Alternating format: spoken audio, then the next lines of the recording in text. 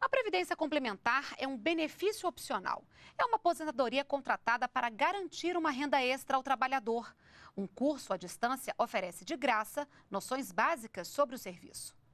Toniela Marques sempre confere como anda o saldo da Previdência Complementar que fez para o filho, com apenas 4 anos. Hoje eu estou pagando em torno de 250 reais por mês. Quando ele fizer 21 anos, a expectativa de resgate é em torno de 100 mil. Né? Então a gente vai ter, vai ter esse dinheiro aí aplicado para ele até lá.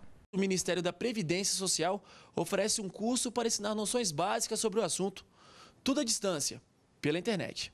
O curso é de graça e superou as expectativas dos organizadores. Foram mais de 1.400 inscrições.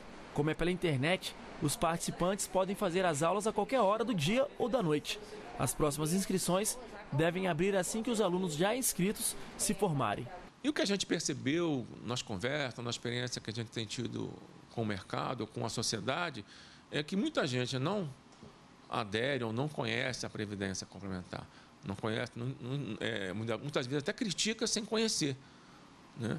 E por isso a gente entendeu que se nós oferecêssemos um, um, noções básicas de previdência no primeiro momento para aqueles interessados, para a sociedade, nós teríamos é, começaríamos a ter gente interessada, gente que quisesse discutir e gente que quisesse é, conhecer mais a Previdência Complementar.